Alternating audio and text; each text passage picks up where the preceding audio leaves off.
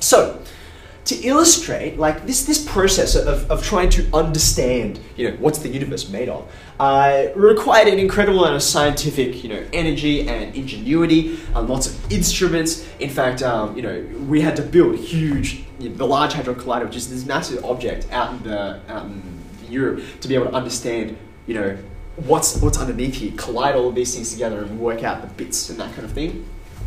How do mathematicians go through working out like the different kinds of, of objects that exist in our universe. And to help you understand that, I want you to look back at those four equations that I asked you to write down. Do you have them there? I asked you at the beginning of the lesson to solve those four equations. And um, I think they were these, right? So consider. Now, maybe when you looked at these, you thought, huh, these are a bit random, like, and, also simple. I thought this was extension two, okay? But um, these are not just random. They're actually very specifically arranged because what they represent is a progression. They represent, in the same way that, uh, you know, going from earth, water, wind, fire, blah, blah, blah, to this, to this, to strings, in the same way that we've progressed in our understanding of the material universe, the solutions to these equations represent our progress in understanding the mathematical universe. Now, I'm going to introduce some language here for you to help you understand.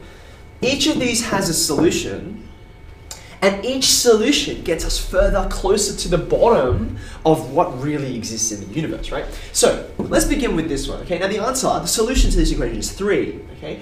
Now, 3 is what we call a natural number. Here's the symbol for it. It's an N with some um, funky extra lines in it. All mathematics throughout um, human history, geog- everywhere, geographically, always starts with the natural numbers. These are the numbers you count with one, two, three, four, five, etc. 3 is a natural number. But quite quickly, starting with the natural numbers and using just the simple operations, you get more than just the natural numbers, right? You discover that there's more going on. For instance, the solution to this equation is not a natural number. It's not a number you can count. The solution is negative 2 this is what we call an integer. Now you're like, natural numbers, n for natural. What's this? Uh, it actually is a German word. It's the word Zahl, S-Z-A-H-L, and um, it means counting, similar to natural numbers.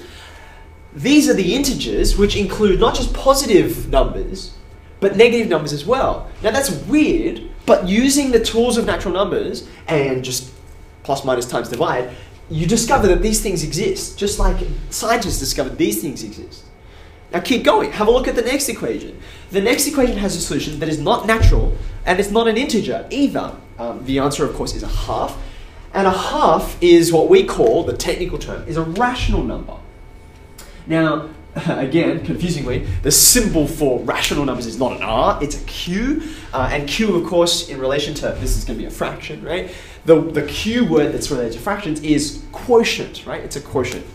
So the, the rational numbers, this is all of the, the um, fractions and the, the decimals that are either terminating or recurring. These are kind of like we're getting further. We understand there's more kinds of numbers that exist. Now, then when you get to this guy, this equation is even more special because it doesn't just have one solution, it's got two. But both of the solutions break the patterns we've already set up. The solutions to this are plus and minus, positive and negative, root 5, right? Well, root 5 is definitely not a natural number. It's not like 1, 2, 3, 4, 5, 6, 7, root 5, okay? Uh, it's certainly not integer or rational. It's irrational, right? Now, to say something is not rational, we put a, um, a funky line, a curved line, over, over the Q, which indicates rational. So that means irrational. Now, these are all of the numbers basically um, that, like all the big families of numbers, with one exception, that you guys know about, okay? All of these are under one big umbrella, which we call the real numbers, right? The real numbers. Now, you can do a lot of maths with the real numbers. In fact, all of the maths you've done over the last 12 years has been working with these numbers, right? But, but, just like with these guys, there's kind of evidence to suggest that there's more going on, that there's something underneath here, there's something lower down, okay? So to illustrate that, um, I want to draw your attention to not just these four equations, but I also asked you, I gave you two um, quadratic equations, and I asked you to find the sum and product of roots. Um, the sum and the product of roots. Okay. Now, I think the first uh, the first quadratic I gave you was x squared plus 5x plus 6 equals 0. And you should have found that for this quadratic, um, the sum of roots is negative 5, and the product of roots was 6. Okay. Now, this is unsurprising. This is unsurprising because x squared plus 5x plus 6 it's a pretty simple quadratic, right?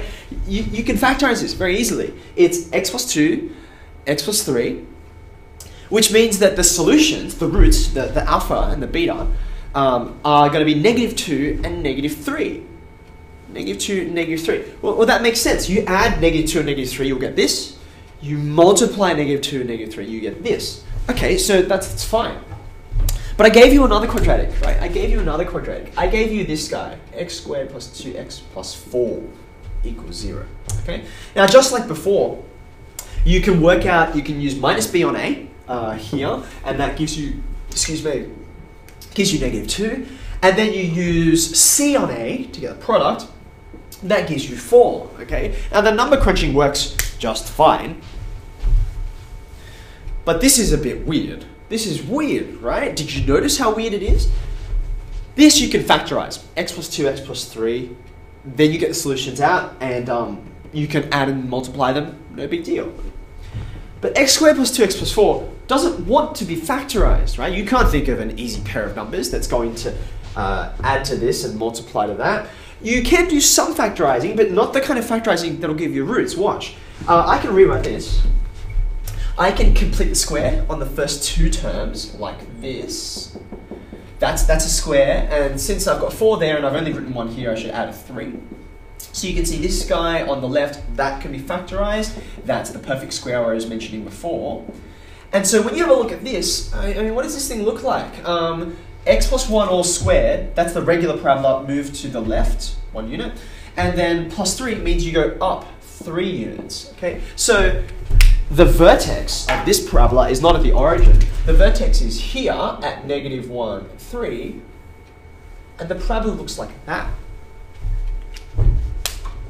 This parabola doesn't have any roots, right? That's, that's weird because apparently you could add those roots and multiply them and get something reasonable out, right? So what is going on? Okay, uh, if these roots don't exist, how can you how can you add or multiply them, right? Well, I, my contention is that these roots do exist. Um, I'm going to try and show you what they are, but to do that, like this original set of four equations, we need to add some extra stuff onto here. We need to add an extra equation.